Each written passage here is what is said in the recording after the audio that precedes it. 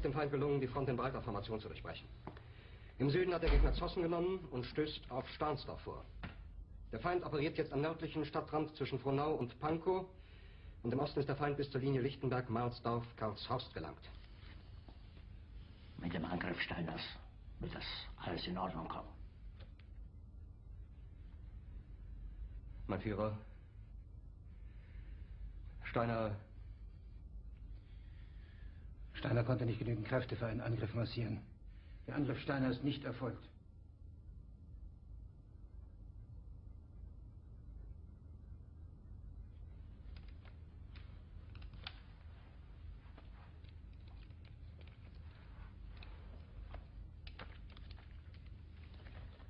Es bleiben im Raum Keitel, Jodl, Krebs und Burgdorf.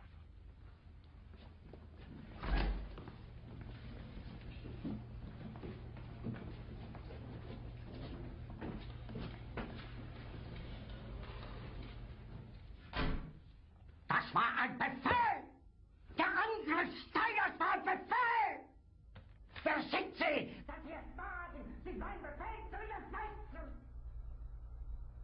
So weit ist das also gekommen.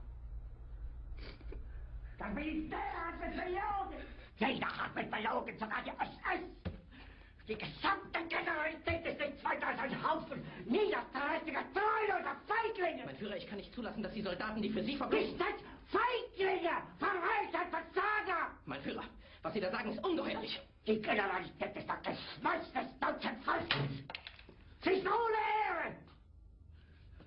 Sie nennen sich Generale, weil Sie Jahre auf Militärakademien zugebracht haben, nur um zu lernen, wie man Messer und Gabel hält!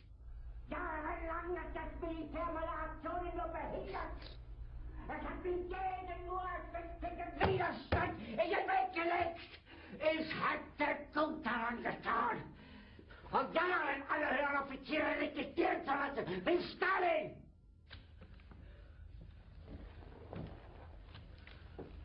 Ich war nie auf einer Akademie. Und doch habe ich allein, allein auf mich gestellt, ganz Europa erobert. Verräter! Von allem Anfang an bin ich so verraten und betrogen worden. Es wurde ein ungeheurer Verrat geübt am deutschen Volke. Aber alle diese Verräter werden bezahlen. Mit ihrem eigenen Blut werden sie bezahlen. Sie werden das saufen in ihrem eigenen Blut. Bitte gerne. Jetzt beruhig dich doch.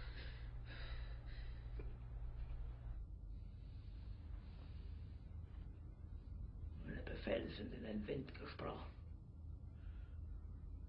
Es ist unmöglich, unter diesen Umständen zu führen. Es ist aus.